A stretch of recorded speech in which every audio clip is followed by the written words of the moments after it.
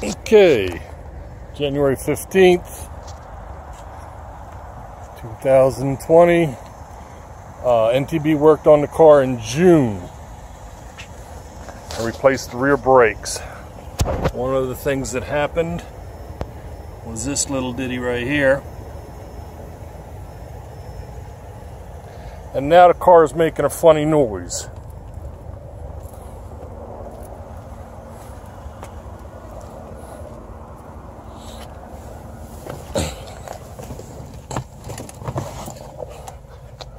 Okay, sweet, sweetie. You drive forward. You stop. You put it in reverse. You hit the brakes, and there's that clunk noise. Do it one time, sweetheart. You drive forward. You hit the brakes. You put it in reverse back up and hit the brakes.